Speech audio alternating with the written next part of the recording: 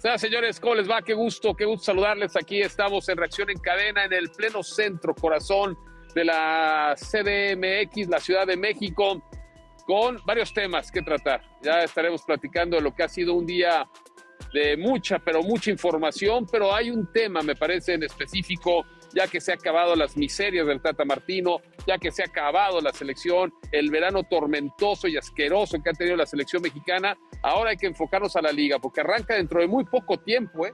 muy poco tiempo, y no ha habido ninguna contratación de élite. Se habla de Luke de Jong, nada más, que vendrá al equipo de Toluca. Se habla de los, sueros, de los eh, sueños guajiros de Edison Cavani, también esas chaquetas mentales que muchas veces por promotoría salen y salen y salen pero lo único que está pasando son intercambios, son intercambios, habrá equipos que están reforzando bien, como Toluca, habrá equipos que están reforzando muy mal, como la América, habrá otros que no hacen nada hasta la jornada 10, como Cruz Azul, habrá otros como el equipo de Pumas, que ya ha dejado a sus brasileños que no sabían correr por traer por lo menos jugadores de fútbol, vamos a ver lo que pasa con este argentino que han traído para hacer la pareja con Juan Ignacio Dineno. En fin, vamos a esperar, todavía faltan eh, algunas semanas, algunos días para, las, para el cierre de fichajes. Pero lo cierto es esto, ¿eh? mientras en México estamos añorando tener una figura, en Estados Unidos, en Estados cada día se suma una más, ¿eh? Cada día se suma una más. Y ahí está Giorgio Chiellini que va al AFC, y ahí está Lorenzo Insigne que va al, Toronto FC, ahí está el propio Carlos Salcedo que se fue de México para irse allá, para el propio Toronto, ahí está Héctor Herrera que se va al Dynamo de Houston, ahí están muchos más, Shakiri y compañía. Se está quedando atrás el fútbol mexicano, ¿eh? Y no nada más está quedando atrás en fichajes, está quedando atrás contra la Major League Soccer en mercadotecnia, en capacidad de distribución a nivel mundial, porque en México, el fútbol de México nada más se ve en México y en Estados Unidos en mercados latinos reducidos. Y la Major League Soccer acaba de firmar un contrato de 250 millones de dólares con Apple para poder distribuir a nivel global, mundial, sin bloqueos, sin ningún tipo de, restricciones, que se vea la totalidad de la Major League Soccer. Es esto, ¿eh? mientras unos están caminando, mientras unos van en, gallo gallina como la Liga MX, vendiéndole boletos a los estadounidenses, los estadounidenses están arrasando, ¿eh? arrasando por el continente. Así que iniciamos. Reacción en cadena desde este magnífico, espectacular lugar, la CDNX. Ladies and gentlemen.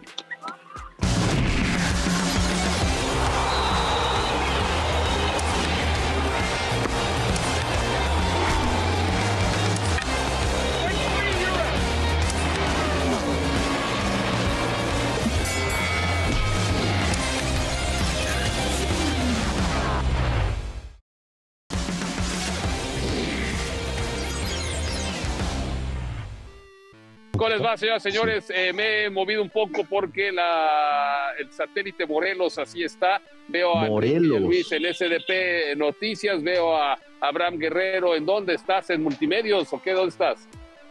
No, en tu casa, en Monterrey. ¿A tienes casa en ah, Monterrey, Gerardo? Sí, se lo alquilo a Abraham. Oye, qué buen café hay en SDP, ¿eh? Muchas gracias, ¿eh? Como, como diría el gran filósofo del fútbol, uy, qué bien nos tratan en SDP. Metieron oficina, cafetera y se metieron. No, o sea. qué bien nos tratan en SDP. Uy. Hay que venir más seguido. ¿eh? Pero faltan las conchitas. Vengan más seguido. Oye, yo estoy afuera de... El parque del, del Valle. Yo estoy afuera de... A, Osito, ¿no? Yo estoy afuera, yo estoy afuera de SDP, aquí exactamente, en, una, en un verdaderamente icónico lugar de la Ciudad de México, pero fui a ver el agüehuete y es, es, es, como chique, es como tú, Enrique, así. Oye, Gerardo, hay alguien de la MLS que te quiere saludar. ¿De la MLS? no? A ver. MLS, ¿Hay alguien de la MLS dónde? A ver, a full, siéntalo. A ver, bienvenido. ¿Quién, es, ese señor?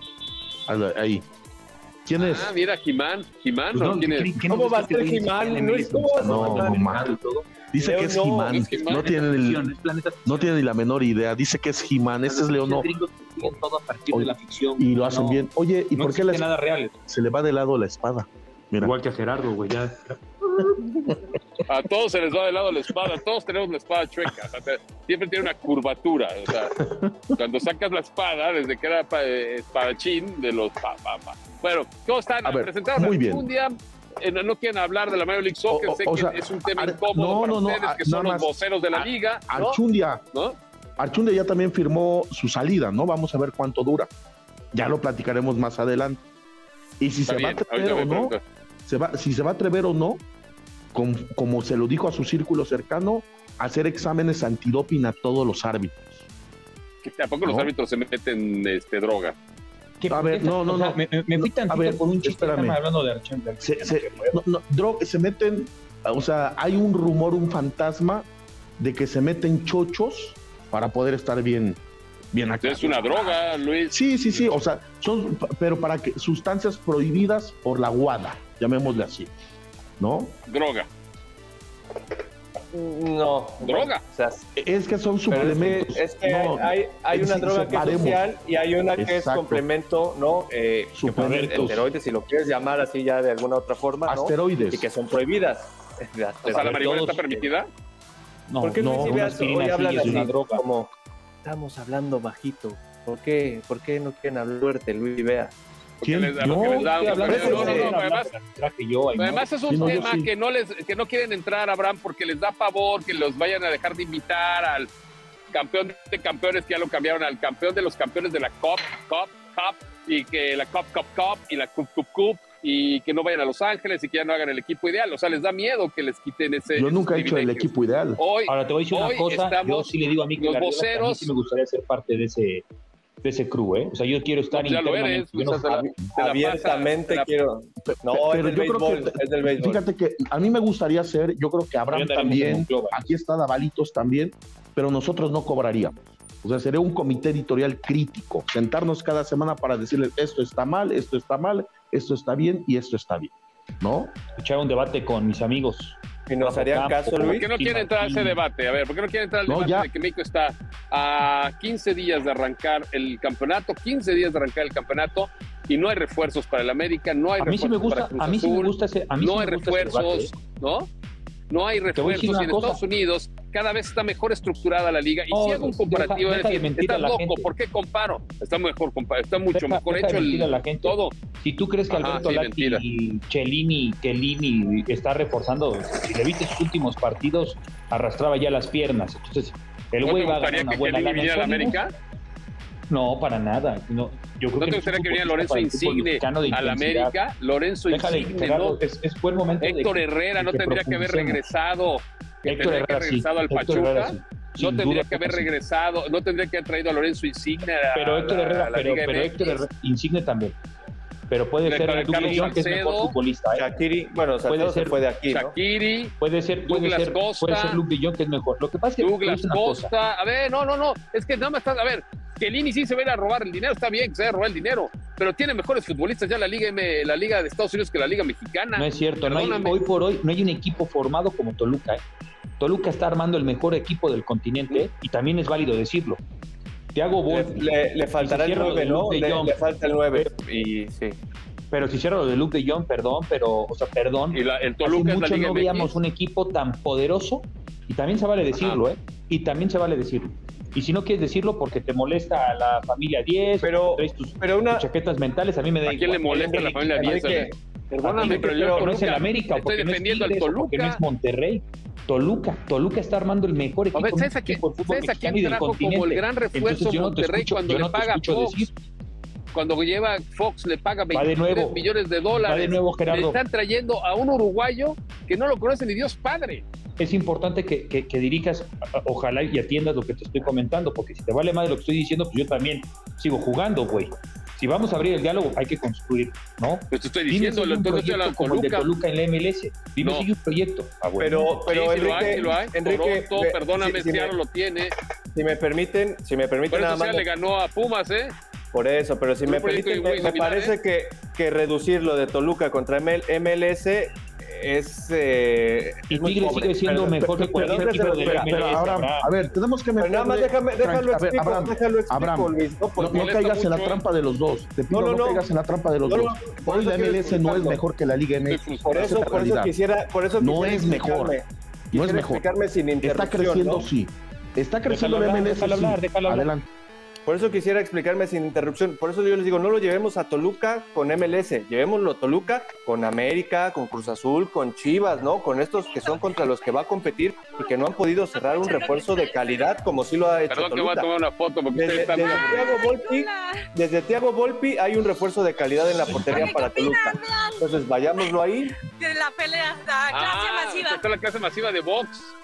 El No, A fin ver, de ¿qué semana. opinan, chicas? ¿Cuándo es? Te madrea, veas. El sábado. Esta sí ¿eh? Sí, no, no, no, nos, no nos dejamos, ¿eh? Saludos. Te van a romper la madre, veas. No, Ahora oye, sí. perdón. Con mucho gusto, No, con no mucho gusto, Gerardo, por favor, nada más dile que con mucho gusto me, me rifo con su esposo, con su pareja. Tirito de cuates ahí abajo, el Monumento de la Revolución. Hijo. Pero Es lo ¿qué sigamos escuchando a Abraham Guerrero, que, estaba... No, ya dije lo que tenía Perdón, que decir. Ah, tampoco te Perdón, Abraham, tampoco pero es que está el No, ya, Zócalo. ya, ya era lo que tenía que decir. Ese no, No, es el es Zócalo, ni es la puerta de Alcalá, ni es la. Siempre lo confunde. Soy en la Plaza puerta de la Alcalá, me decía el otro día. Y yo, ¿cuál es esa? Pe- pe- Pero a ver, qué- entendiendo qué- Qué, se- bonito está el Coliseo Romano, ¿eh? Entendiendo que la liga, la MLS está creciendo, tenemos, tiene que haber autocrítica. Sí está creciendo, está invirtiendo lo de ayer, lo de Apple, es un gran paso, indudablemente. Pero Un hoy, madrazo, ¿eh? Un madrazo. un madrazo, o sea, en verdad, Por qué eso bueno. Luis, pero nadie lo quiere reconocer. Siguen Pero ¿quién no lo quiere minimizándolo. reconocer? Gente como Enrique, ¿Quién? gente como. Enrique, Enrique Vea, oh, Toluca, Toluca es el gran. Toluca no lo ven más que en el Estado de México. Y lo ven más allá, más allá del Estado de México, lo ven en Estados Unidos. Eh, ¿Quién lo ve en Estados Unidos? prefieres un grupo construir al reducido. Perdóname, Que no tiene a nadie no, que al Toluca. perdóname, perdóname. Pero el FC Yo- Dallas, y no es por defender al FC Dallas, pero Paul Arriola mandó al carajo a la América por irse al FC Dallas, ¿eh? Paul Arriola, seleccionado nacional hoy- de Estados Unidos. ¿Por qué? Y Porque aquí ya va a no- mandar ya al no carajo a la América y se perdón, ve a rayados, güey. Perdóname, Sí. ¿Y- y no quién no manda al carajo a la capacidad, América? ya, no, Damm. ya no hay capacidad, ya no, Wow. ya no hay Ese es capacidad en este país para traer estas figuras. México está convirtiendo en una segunda liga a comparación de la MLS, si no al tiempo, porque hoy la MLS dijo algo que por soberbia, Univisión en Estados Unidos, por soberbia de Univisión en Estados Unidos, no han querido abrir el mercado. Y por tener ese control absoluto de televisoras como Fox Sports, que quiere veintitantos millones de dólares un equipo y quiere romper el mercado aunque se desaparezca, que no haya distribución. El fútbol mexicano lo que necesita es distribución. Y lo que ha encontrado con Apple, la, la Liga de Estados Unidos, es distribución. Puedes verla o no verla, te puede gustar o no te puede Pero- gustar, pero de te- que va a estar, va a estar. Te, te digo una cosa, Gerardo, está muy bien MLS, aquí en México nunca va a pasar. Mientras ¿Por qué no? Televisa no quiera ceder a la América. A ver, pero si tenemos una televisora normal, a ver, lo de, lo de Apple se los explico rápidamente, es un Game Pass, como tiene la NFL, y se sigue viendo la MLS en Estados Unidos, ¿eh? en los canales tradicionales, en los can- canales lineales, en los canales de, eh, de, de- de antena. Y esto hace que se haga una distribución global mundial, ¿vale? Pero no, lo que quieren en Univision es, ah, ¿quieres este, ver al América en Turquía? Ah, pues me tienes que comprar los derechos, te valen 5 millones de dólares. Los van a mandar al carajo. ¿Quién los va a ver? ¿Quién los va a ver? ¿Quién los va a comprar? Nadie.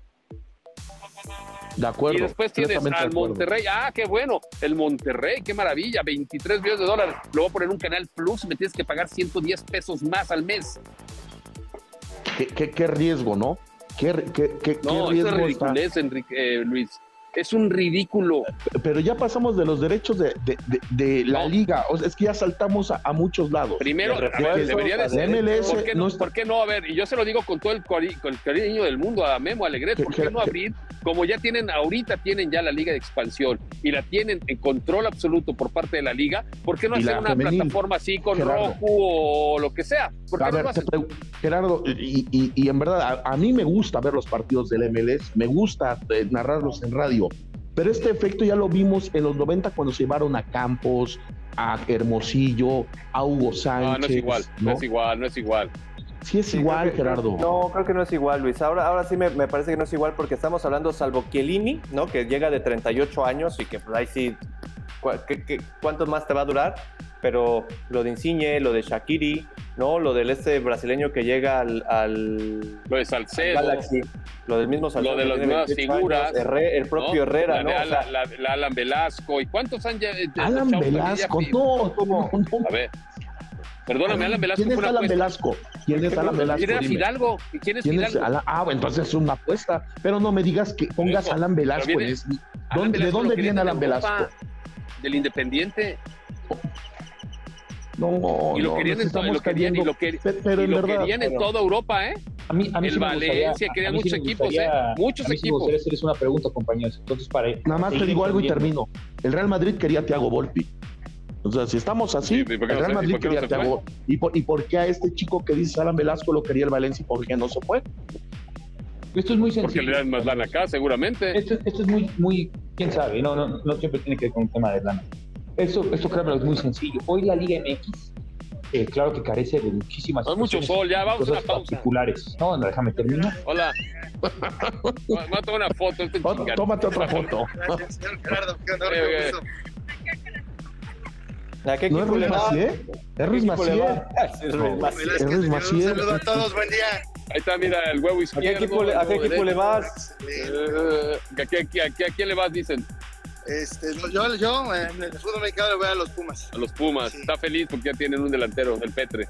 Tienen dos delanteros. Un honor, un honor, señor Gerardo. No, un honor. Felicitarlos. No, Y Este, y el señor Carlos Alberto, ¿dónde anda? Eh, en su casa. En su casa. Retirado. Ah, ya, en su casa. Eh, Está retirado ya, comiendo huevitos todo el día. Uy, qué, qué gusto, qué honor de verdad. Igualmente, ¿eh? Y, y este, un saludo a todos. Un saludo a todos. Y por favor, ese, ese señor, el otro, el, el señor ese gritó que habla, sino otro de barba, no recuerdo su nombre. Por favor, ya quítenlo del aire, quítenlo. Aquí está. Enséñenlo Es de este, periodismo es deportivo. Enrique. No, no el otro, un Ba- baja- Baja y rómpele la ¿Cuál De otra cadena, no Ah, no sé. Ah, eres tú. Ah, ese es el problema de Por otra favor, cadena. ustedes que saben No, de periodismo No, está hablando de ti, clase, ¿no? ustedes, una petición de un humilde aficionado. Va. Por favor, por Órale. favor, es un, un, un, una- Un honor, ¿eh? No, al contrario, ustedes. Gracias. Pero vamos a una pausa. Hoy es regresamos cumpleaños de Alvarito con Morales, más le mandamos aquí en un fuerte Reacción en abrazo. Cadena Feliz cumpleaños, desde Álvaro. El Zócalo. Ah, no, no es el Zócalo. Nada más. De la- desde la Puerta Gerardo, Alcalá, na- tampoco. nada más dime, no, Pero a ver, regresamos. no, no, no, no, no, trae su no. show en la Sí, sí, ciudad. sí. A ustedes. Sí, trae su show.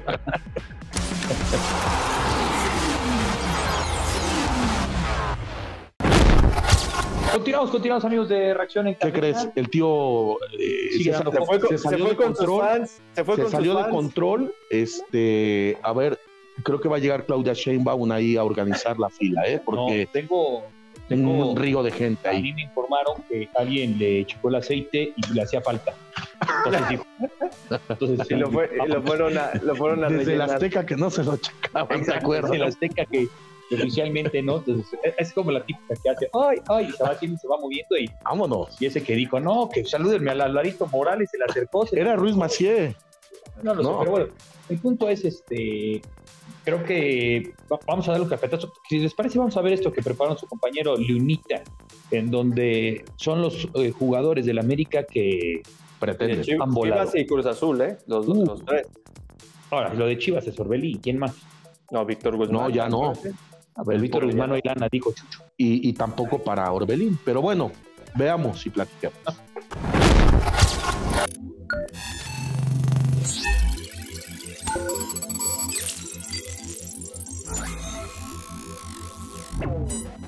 Estamos a 15 días de que arranque el torneo Apertura 2022 y el mercado de fichajes se mueve a gran intensidad, aunque no así para algunos equipos. De ir por estrellas o jóvenes con potencial a hacerlo, ahora se conforman con cualquier jugador. Eran el objeto de deseo de los grandes equipos, por meses los buscaron y trataron de convencerlos. Hoy terminaron en otros planteles con un presupuesto similar o incluso más limitado. Cruz Azul, América y Chivas fueron los interesados. Las quejas de los aficionados estallan al ver que los demás equipos de la Liga MX compran jugadores y los suyos no. Jaime Ordiales, Santiago Baños y Ricardo Peláez no han dado la cara, pero sí hablan bonito en conferencia de prensa. you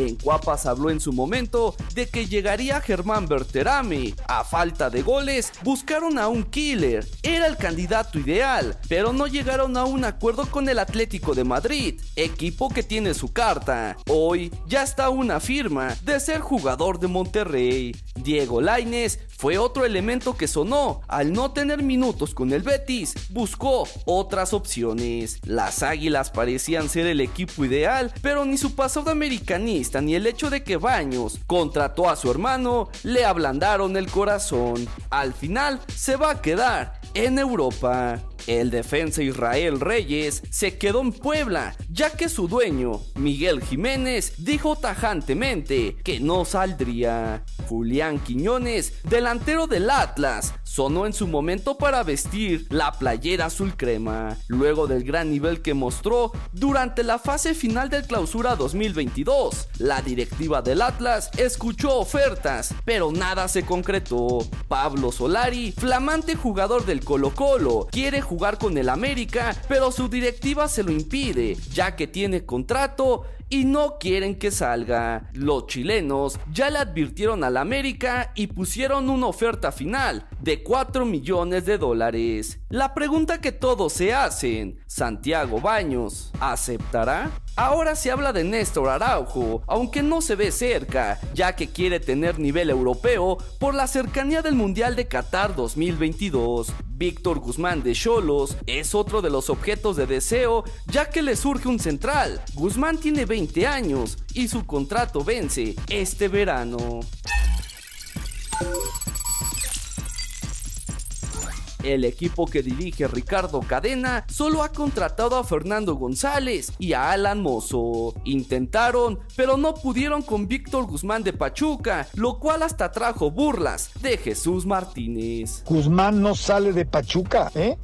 Chingao, no tiene chivas para pagarme a Guzmán. Guzmán se queda en Pachuca. Luego, a Mauri Vergara dijo que irían por Orbelín Pineda del Celta de Vigo, pero fueron rechazados. Incluso en redes sociales se burlan de Mauri Vergara por traer a refuerzos imaginarios. Eso sí, está más ilusionado por el arranque de la nueva temporada de Shark Tank México que de la apertura 2022. Cruz Azul vive en una incógnita. No se sabe nada de ellos, pero eso sí, mucho humo en redes sociales. El Apertura 2022 está a la vuelta de la esquina y no se ve que lleguen refuerzos. Carlos González de los Tigres sonó muy fuerte a unos días de la llegada de Diego Aguirre, pero la inmovilidad de Cruz Azul obligó a que escuchara otras ofertas. Jesse Rodríguez, ex del Real Madrid y Paris Saint Germain, por extraño que parezca, estuvo en la órbita de la máquina. Al no tener una propuesta clara, terminó por regresar a Las Palmas de la segunda división de España. De hecho, en una entrevista para Marca, aseguró que la felicidad era el tema principal que él estaba buscando. Tenía buenas ofertas de dinero y de años, pero me quedo en Las Palmas porque tengo a la gente que me quiere cerca, el apoyo del presidente del club. Tomo esa decisión porque creo que están todos los ingredientes para ser feliz. Cruz Azul está buscando un delantero para reforzar esa área. La falta de gol hizo que buscaran a un goleador y se fijaron en Juan Ignacio Dineno, pero los Pumas se le adelantaron y les ganaron la renovación. Al caerse lo de Dineno, los celestes siguen buscando a ese jugador diferente. Ahora suenan los nombres de Eduardo López y Federico Viñas. La Chofis ya no va a seguir con los Earthquakes y deberá regresar al Guadalajara, pero no se sabe si Cadena lo va a querer o le buscará otro equipo. Mientras que Viñas no entra en planes del Tan Ortiz y buscan liberar esa plaza para un jugador mexicano. Cruz Azul lo analiza, pero hasta el momento no han ofertado por el uruguayo. El más, fregado, el más, fregado, es América, ¿no? O sea, porque han sido más nombres, más nombres y que se le han escapado y que no han podido. Han, han, han tratado de convencer a, a, a, futbolistas que creo que sí realmente no están en el radar hoy del americanismo. ¿Como quién? O sea, lo de Laines, por ejemplo. Sí. Futbolistas en Sudamérica que además, Pero yo creo ya, hay temas en verdad, Solari, lo de Solari no es el primer Eh, intento, es el tercer intento. ¿Se acuerdan de mí? Lo de. Sí. lo de Dam le va a aportar mucho al América. Eso es una cosa aparte, ¿No? ¿no? Creo que no, de nueva cuenta creo que no estás entendiendo el tema, Luis. No sé que hoy te cayó mal el café de SDP o algo. No, muy O sea, bueno. Estamos hablando de los que no han logrado. Qué bueno que sea lo de Dam. ¿Estás nervioso? ¿Tienes algo? ¿No quieres hablar de tu Cruz Azul? No, Este pues nuevo a ver, ya de saltamos de, América. Son Cruz los tres Azul. temas que pone Luna. A ver, Los tres grandes del fútbol mexicano no han podido completar los refuerzos que se han figurado sus directivas. Ese es el tema. ¿por qué? ¿En dónde está el Cruz Azul poder? ¿En buscando un dónde está el nueve. peso? A Cruz Viñas, Azul ¿no? buscando un 9, ¿no? O sea, era. Carlos González, al- bueno, pr- primero Dineno, ¿no? Luego Carlos González y ahora Vi- imagínate Viñas y a Me- me- préstamo. Me- me Ahora te digo una nada cosa, más, perdón. Qué bien por Pumas. Oye, me, pa- qué me bien parece por Pumas, mantener al, al- al que los hizo competir. que, que, que hay ahí, no puedes comparar a Cruz Azul con América ni con Chivas. ¿Por qué porque, no? porque en el proyecto, o sea, Cruz Azul viene hace un año que fue campeón y, vi- y- No, y no, sabemos no, no, las no, nada más, nada más, permíteme. El año, el semestre pasado, ¿quién llegó? Charlie Rodríguez. El semestre pasado. Lira. Uriel, eh, Uriel ¿Cuántos Antuna y Lira.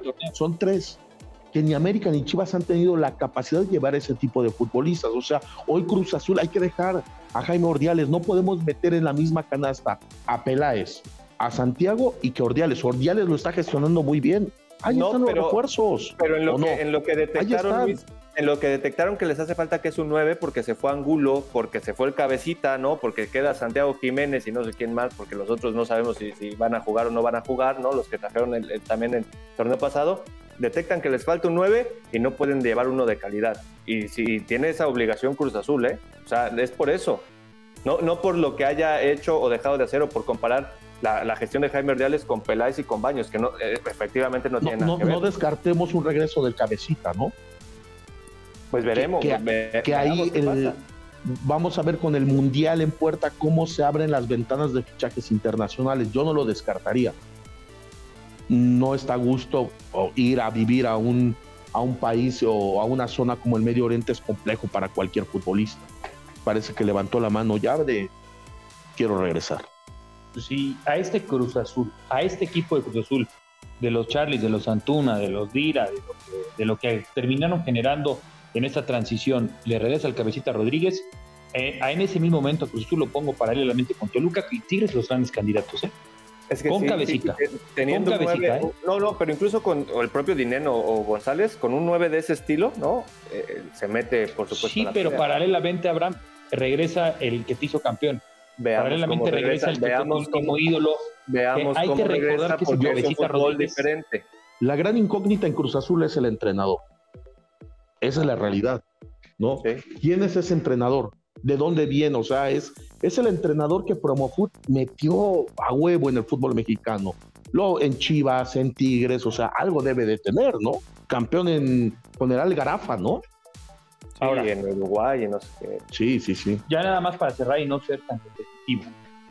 Creo que sí es momento de darle los medios de comunicación la justa dimensión a lo que está haciendo Toluca. ¿eh?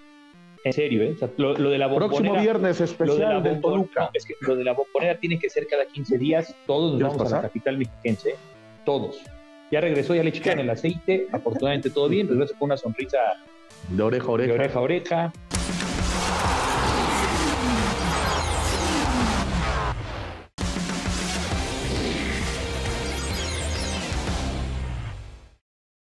Una charla que tuvimos con el técnico de Tijuana, campeón del ascenso, Ujú. Bueno, sin hace- de la expansión. de, sin del ascenso. Morelia, sí, con, Sí, con del Atlético Morelia.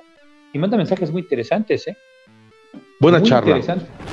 La verdad que contento, contento porque es un desafío que, como todo, ¿no? Uno lo va buscando, a veces situaciones como las que nos tocó atravesar, de jugar tres finales en, en dos años y a veces uno piensa o imagina cuándo va a llegar este momento, ¿no? Y realmente en un momento que por ahí no, no, no sé si lo esperaba o no, eh, coincidió todo como para que podamos volver a tener este desafío, ¿no? De nuevo, que para mí es muy importante porque es una institución también a la que me toca llegar, en donde sabemos muy claro cuáles son los objetivos, sabemos muy claro cómo está la institución y cuál es el objetivo a cumplir, pero la verdad muy contento. Eh, la estadística dice el, el porcentaje de triunfos como local de Yolos es muy alto.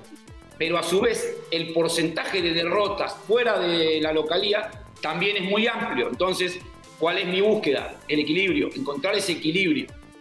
Coincido contigo de que por ahí la ventaja de estar dentro de lo que es el, el fútbol mexicano hace que en el análisis que yo hago de la plantilla de Yolos, sepa que hay futbolistas, por ejemplo, como, no sé, no quiero hacer nombre propio, bueno, como Renato, como Gallo, que si nosotros logramos llevarlo a un rendimiento como el que le conocimos o como el que creemos que nos pueden dar, pueden ser muy útil. Ahora, si yo no sería alguien que conozca el fútbol mexicano y llego a México y por ahí me guío con los últimos cuatro meses del equipo, por ahí tendría una imagen totalmente diferente a lo que es el armado de la plantilla. No sé si se entiende, Nacho. Le voy a, dar una estadística para que la analicen, ¿no? Eh, si no me falla la memoria, el último mercado han subido de liga de expansión a primera división 14 futbolistas. Y ustedes van a decir, Ricky, eso es muy bueno, eso está perfecto. El problema más grave es que regresaron al año. No se han podido afirmar en primera división, salvo eh, Memo Martínez. Bueno, ahora, ahora, ahora la subida de, de Pavel Pérez en, en, Chivas. en Chicote Orozco, pero el resto no se ha podido afirmar. Entonces, hay que preguntarse por qué. Ahí está Ricky Baliño, técnico de los Cholos. Lo, lo mejor para mí, lo, lo más enriquecedor de un hombre como Ricardo Baliño, a quien conocemos bien ¿no? desde, desde hace mucho tiempo, es que pese a que está de nueva cuenta en, en, primera división en la Liga MX, no se olvida de la importancia del ascenso y del descenso, ¿eh? porque cualquier otro puede decir, yo ya estoy en primera, ¿no? Ahí, Ahí se, se, ven. ven. Sí.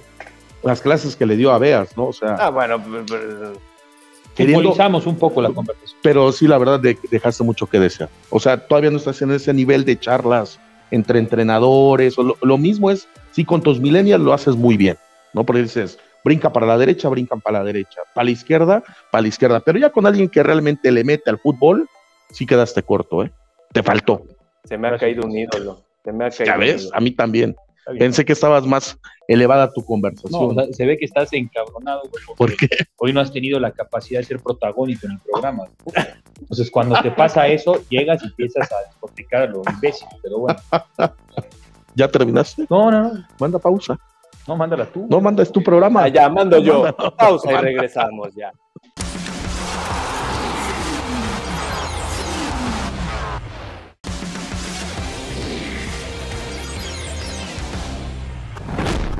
Armando Archundia, Benito Armando Archundia y la carabina de Ambrosio es lo mismo, todo sigue igual, el ingeniero John de Luisa sonríe aquí, sonríe allá, reloj aquí, reloj allá. Este, ya dejen pasar un rato a John, o sea, no, no, otra, no, vez, otra vez, otra vez, trabaja y trabaja bien, otra vez, menos en la parte deportiva para la mexicana, en lo general. Pues para eh, eso tiene gente, ¿no?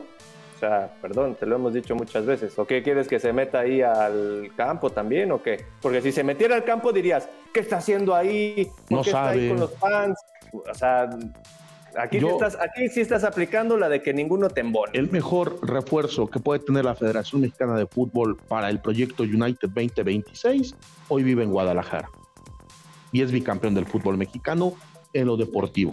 Ese es el camino. Si John quiere a alguien, debe ser Pepe Riestra el que se debe de incorporar a la selección. Y por fin juntar a los hermanos y a dejar y ya, te, y, ya, y ya te quitas la dos pájaros esa circulación, claro, de los cochambrosos. Yo haría eso, ¿eh? en verdad. O sea, le estás diciendo a Roberto Gómez Funco cochambroso.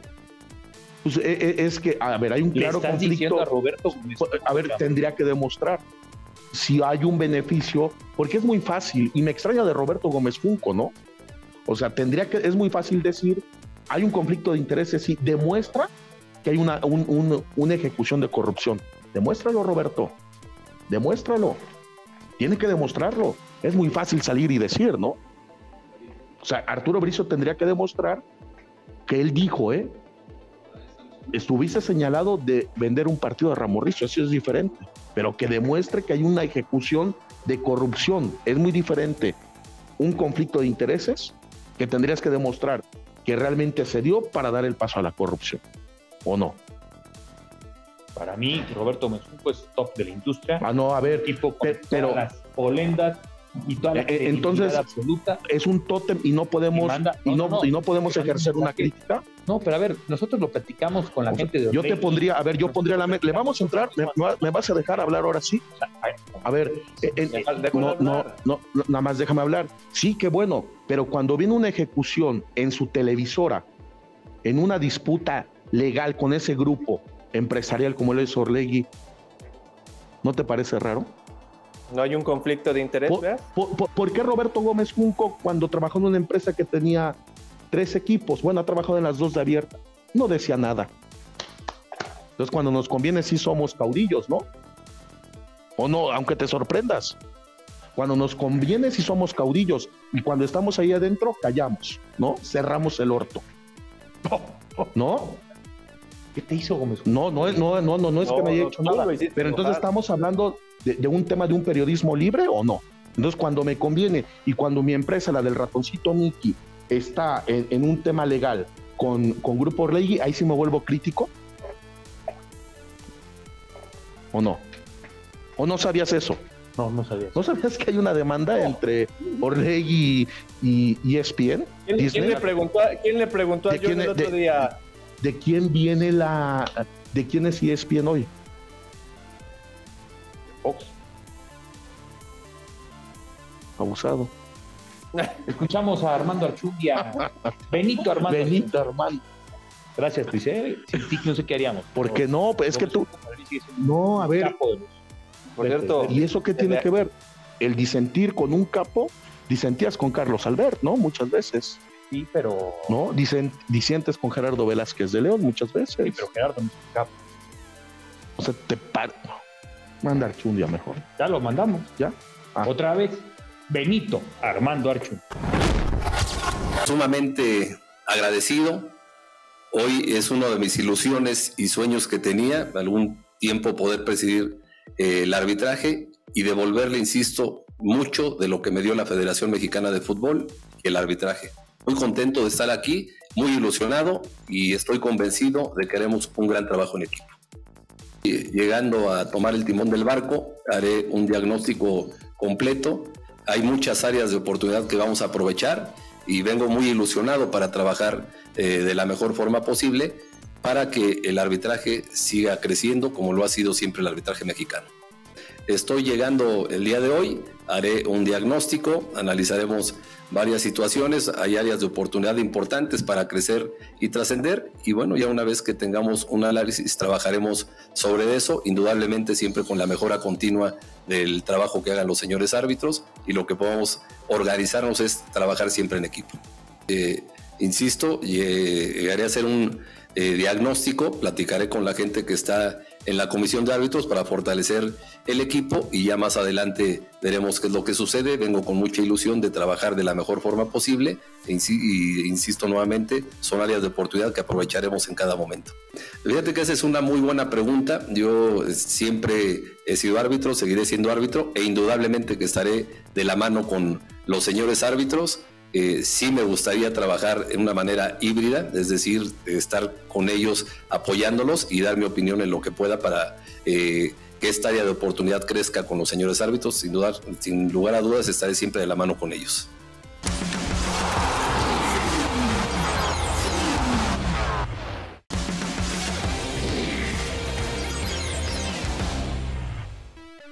Gracias, gracias, gracias. Eh, el día de hoy ha sido un programa, creo que muy completo.